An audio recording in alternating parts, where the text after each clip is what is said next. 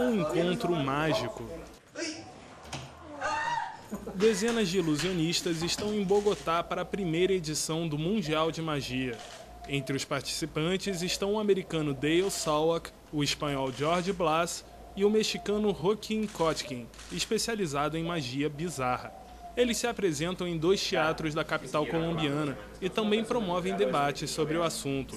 Com mais de 40 anos de experiência, o colombiano Gustavo Lorge organiza o evento. Ele diz que a mágica é algo para toda a família e que em suas apresentações, tanto o avô quanto o neto tentam descobrir como ele fez o truque. Como foi? Como foi?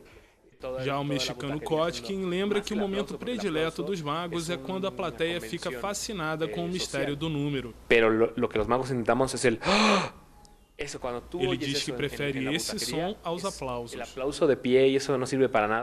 O encontro de magos termina no próximo dia 12.